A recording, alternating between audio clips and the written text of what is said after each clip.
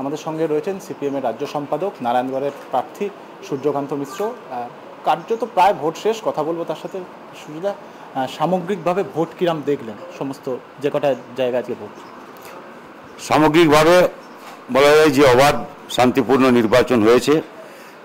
যদিও গতকাল পর্যন্ত মোটরসাইকেল বাহিনীর সন্ত্রাস, ভয়, একটা পরিস্থিতি ছিল এবং কয়েকটা বুথে পোলিং এজেন্ট যাতে না দেওয়া যায় তার জন্যে ওরা সব রকম চেষ্টা করেছেন, কিন্তু সেটা কার্যকর হয়নি। মানুষ দু চারটা ব্যতিক্রম আছে, আমার হিসাবে চারটা বুথ আছে বোধহয় এরকম।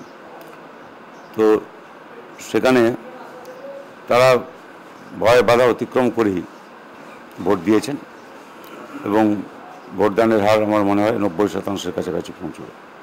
বেশ কিছু জায়গায় আমরা দেখছিলাম যে আপনি তো সকাল থেকে ভোট দেওয়ার পর থেকে বিভিন্ন জায়গায় বিভিন্ন বুথে ঘুরেছেন। বেশ কিছু জায়গায় বিক্ষোভের মুখেও আপনাকে পড়তে হয়েছে। হ্যাঁ, এই বিষয়টাকে কীভাবে ব্যাখ্যা করবেন হ্যাঁ, বিক্ষোভ তো হবেই। কিছু লোক যারা ভেবেছিলেন যে ভোট ফোট লুট করে ওরা যেরকম পরিকল্পনা করেছিলেন সেরকম হবে। এটা হয়নি। রাগের কারণ আছে। দু হাজার এগারো পরে যতগুলো ভোট হয়েছে সেগুলো করে হাত পাকিয়েছিলেন। ওরা কাজে কাজে লাগেনি। এটা বড় রাগের ব্যাপার। আর ওদের সংস্কৃতি তাই মুখ্যমন্ত্রীর ভাষা দলের নেত্রীর ভাষা সেটা তো মুখস্থ করে ফেলেছেন এরা। এটা অসুস্থ সংস্কৃতি।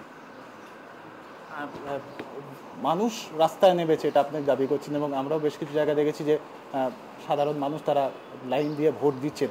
এর ফলে ফলাফলের ক্ষেত্রে কি যে আপনি বারবারই বলছেন যেটা প্রথমবারে বলেছিলেন যে ছক্কা হয়েছে দ্বিতীয়বারের ক্ষেত্রে সামগ্রিকভাবে দেখে এখনও পর্যন্ত কি মনে হয়? যা বলেছিলাম তাই মানুষের জোট ক্রমশ এগোচ্ছে। প্রথম অর্থাৎ চার তারিখে নির্বাচনের চাইতে এগারো তারিখে নির্বাচনে আরও এগোবে।